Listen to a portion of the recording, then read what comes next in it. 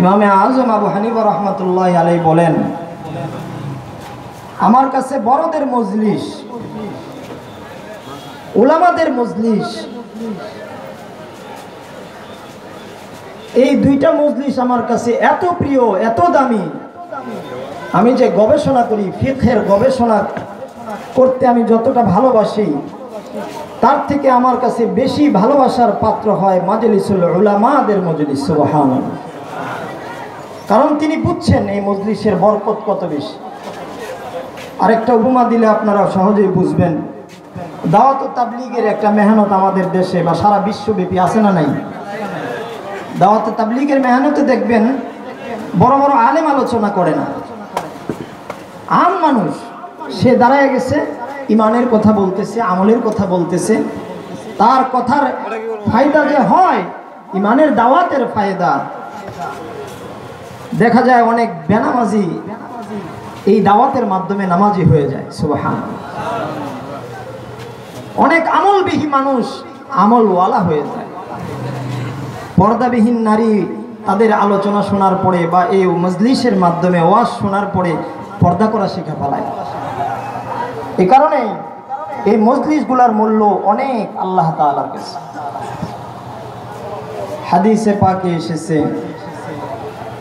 لا يقعد قوم يذكرون الله عز وجل إلا خفتهم الملائكة وغشيتهم الرحمة ونزلت عليهم السكينة وذكرهم الله في من عنده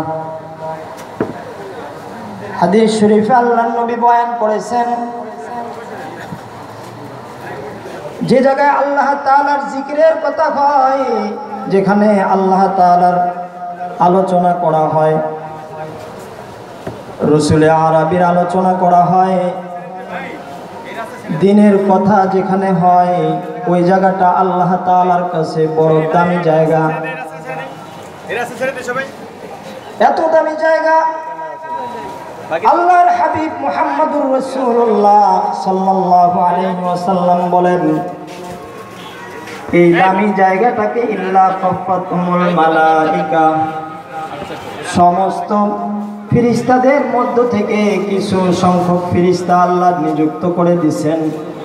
যাও, এই রহমতের বাউন্ডারির চতুর্পাশ দিয়া তোমরা দাঁড়ায় দাঁড়ায় তাদের পাহারাদারি করো বলেন সুবহানাল্লাহ। শুধু তাই নয়, আল্লাহ তাআলার পক্ষ থেকে এই প্যান্ডেলের মধ্যে যারা বসা আছে, যারা এখানে মজমায় বসে গেছে আল্লাহ সুবাহানাহু এই বান্দাদের উপরে রহমত নাজিল করতে থাকে বলেন সুবহানাল্লাহ। ওয়া সকিনা বর্ষণ করতে থাকেন।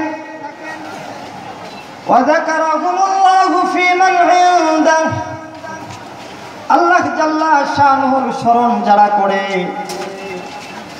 আল্লাহ রব্বুল আলমিন বলে, বান্দারা এই সকল মজলিসে বসতে দেরি, আমি আল্লাহ তাদের জিন্দগির ছোট ছোট সবিরা গুণাগুলাক মাফ করতে দেরি করি না। এটা একটা মূল্যবান মজলিস, এটার কদর কি সবাই বুঝবে ভাই? সবাই বুঝবে না। আমরা যারা বুঝছি, তারাই এখানে উপস্থিত হতে পেরেছি এবং আল্লাহ যাদেরকে এখানে উপস্থিত করেছেন আল্লাহ যাদেরকে দিন বুঝার জন্য রাস্তা সহজ করে দিবেন, তাদেরকেই একমাত্র এই মজলিসে আসার এবং বসার তৌফিক দান করেছেন। কথা বলেন ঠিক কিনা? আল্লাহ যার কল্যাণ চান, তাকে আল্লাহ পাক দিনের পথে পরিচালিত করেন। আপনার আমার পেয়ারা হাবিব হাবিব কিবরিয়া মুহাম্মদুর রাসূলুল্লাহ সাল্লাল্লাহু আলাইহি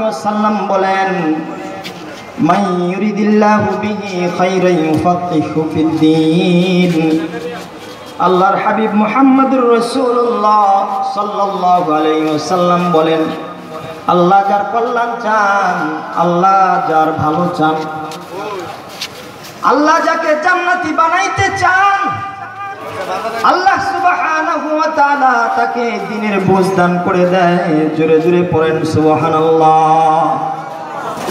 দিন বুঝার জন্য আল্লাহর রহমত লাগে, বান্দার উপরে আল্লাহর সুদৃষ্টি লাগে। সবাই দিন পাবে না, সবাই দিন বুঝবে না। কোরআন যেখানে নাজিল হয়েছে, ওইখানেও সবাই দিন পায় নাই। কারণ তার কপালে আল্লাহ হেদায়েত রাখে নাই। যাদের কপালে হেদায়েত নাই, তারা হেদায়েতের মজমার আশেপাশে ঘুরলেও পাবে না। কথা বলেন ঠিক কিনা? শুধু তাই নয়, হাদিসে পাকে আছে আল্লাহর হাবিব মুহাম্মদুর রাসূলুল্লাহ সাল্লাল্লাহু আলাইহি ওয়াসাল্লাম বলেন, মান খারাজা ফি তালাবিল ইলমি ফাহুয়া ফি সাবিলিল্লাহি হাত্তা ইয়ারজি।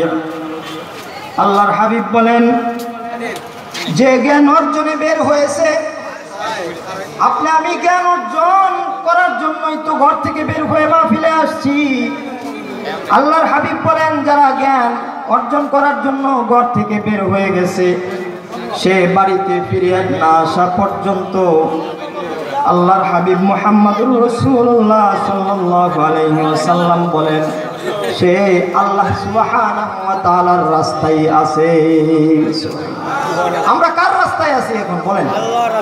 আমরা আল্লাহ তাআলার জিম্মায় আছি তার রাস্তায় আছি। এই মজলিসের বড় মূল্য, এর কদর আমাদের সকলের করা উচিত। আর আপনাদের সকলের প্রিয় মুহতারাম, আপনাদের সকলের প্রাণ প্রিয় ভাই, কিছুক্ষণের মধ্যে ইনশাল্লাহ এখানে উপস্থিত হয়ে যাবেন, যার মাধ্যমে সারা বিশ্বে কোরআনের খেদমত চলতেছে। আপনাদের সকলের সুপরিচিত মুখ, মোহতারাম আবু তোহা মোহাম্মদ আদনান হাফিজাহুল্লাহ, খুবই নিকটে আছে। যারা এখন এদিক সেদিক ঘোরাফেরা করতেছেন, তাড়াতাড়ি চলে আসেন ইনশাআল্লাহ। আমি যে আয়াত পড়েছি আর যে হাদিস পড়ছি, ওদিকেই চলে যাচ্ছি, তার আগে কিছু কথা বলে নিলাম।